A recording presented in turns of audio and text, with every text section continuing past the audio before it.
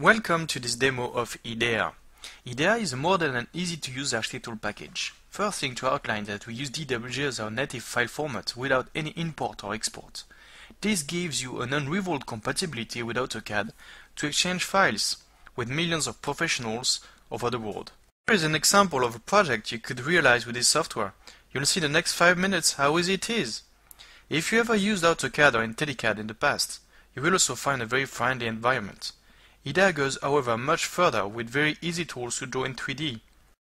Let's see first how to draw some walls. After setting some options in the dialog box, I just draw a line and show the software which side is the width of the wall. I can show the length of the wall with the mouse or enter a value with my keyboard. Intersections between walls are automatically cleaned and you can switch from 2D to 3D view at any time. IDEA brings you a sophisticated BIM technology.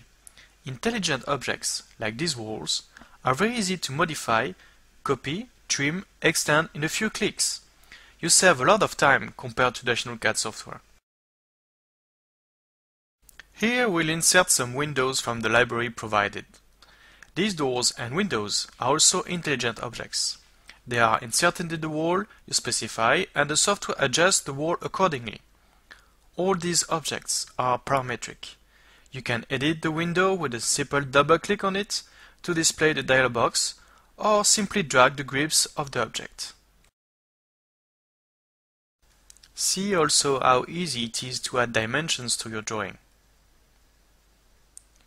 and how these dimensions are adjusted when a modification is performed.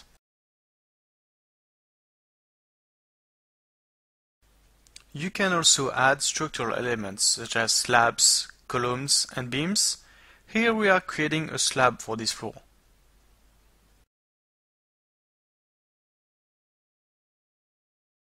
Now let's copy this floor and make a second one.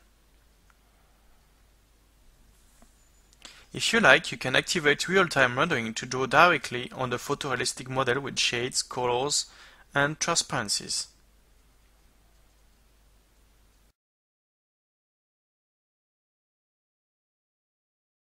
You will probably need also some 2D views of your project. Let's create for example a section view. This will create a new DWG file you will see in your project tree.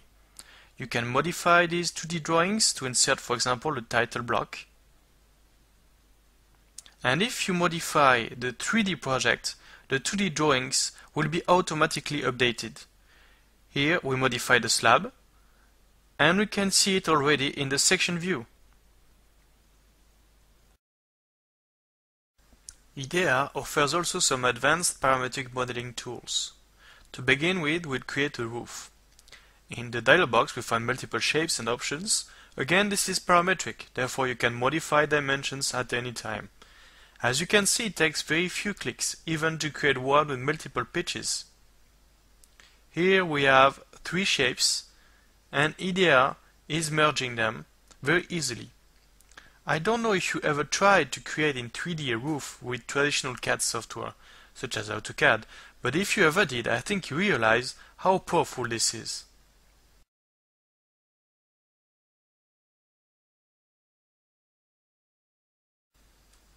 Next step is to create the gable by extending the wall and this gives you also the possibility to insert later a window in the gable. In this case we want to insert windows in the roof. We double click on the roof and choose type of window. It can be a dormer window, like this one, or a skylight.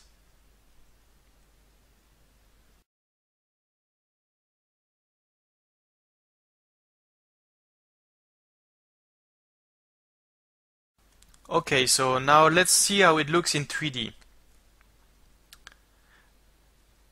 And back to the first floor, I will add a stairway. This is also something very difficult to draw, but very easy with IDEA. Here we decided to create a custom shape by drawing a polyline and ask the software to use this path. But we can draw stairways of any type. The software can tell you also if the number of steps you define is not compatible with the design you created. And finally, you can define the material used or add some options such as landings or rails. Here we want to add a wooden rail on both sides.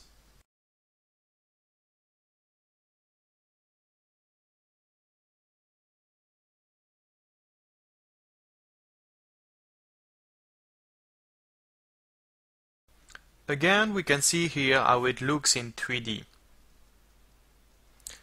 Now talking about rails, we would like to add one to this balcony.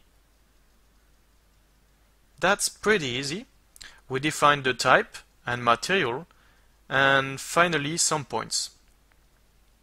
First point, second, third, fourth. And here we are.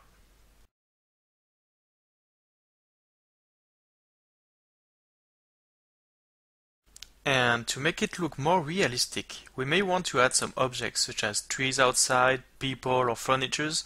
In IDEA we provide different libraries from which you can choose.